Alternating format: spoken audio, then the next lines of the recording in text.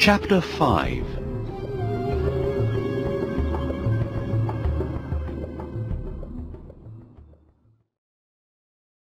When Sinbad comes out from under the ground, he meets some sailors. I'm Sinbad the Sailor, he tells them. The sailors are surprised. Sinbad? But Sinbad is dead.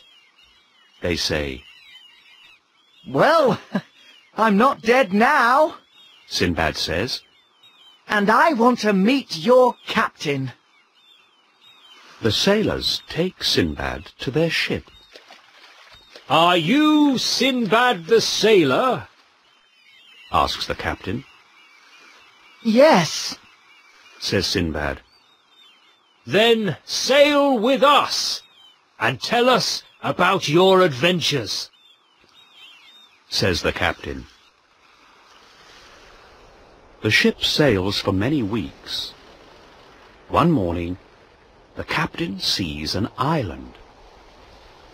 Sinbad and some of the sailors land and begin to explore the island. The sailors find a very big bird's egg, don't touch it. says Sinbad. It's a roc's egg. But the sailors throw stones at the egg. The egg breaks open, and a big, fat, young roc comes out. It makes a lot of noise. Suddenly, four angry rocs fly down, Let's go back to the ship. says Sinbad. The rocs begin to attack the ship with big stones.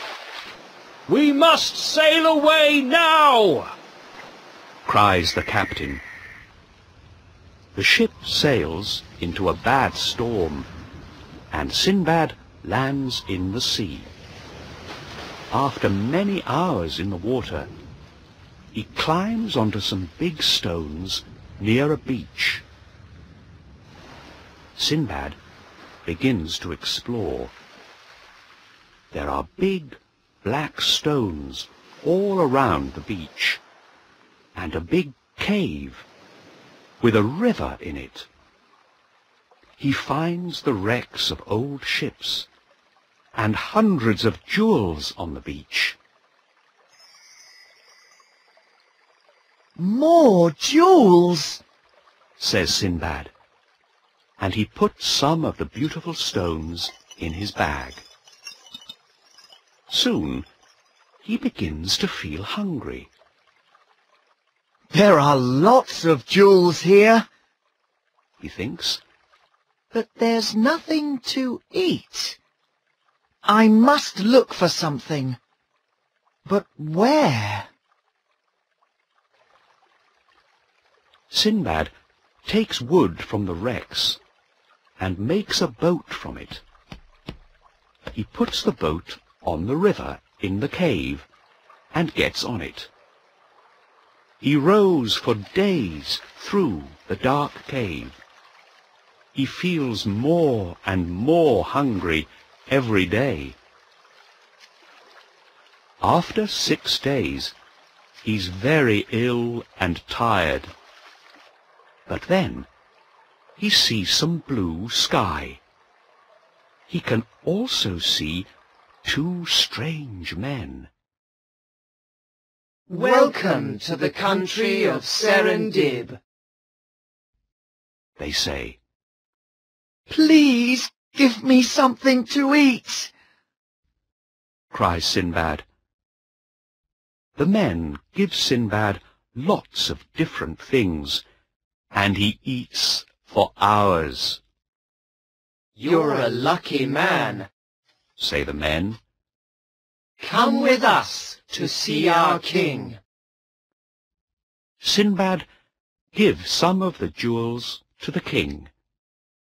He also tells him about the most important man in Baghdad, the Caliph. Your Caliph is a very good and wise man, says the king. Here are some presents for him. The king finds a big ship for Sinbad, and he gives him lots of presents too. Sinbad sails back to Baghdad.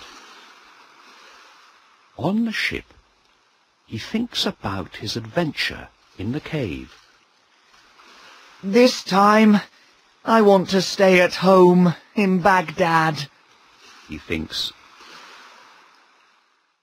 When Sinbad gives the presents to the Caliph of Baghdad, the Caliph says, I have some beautiful carpets for this wise king of Serendib. Please take them to him. Oh, no, thinks Sinbad.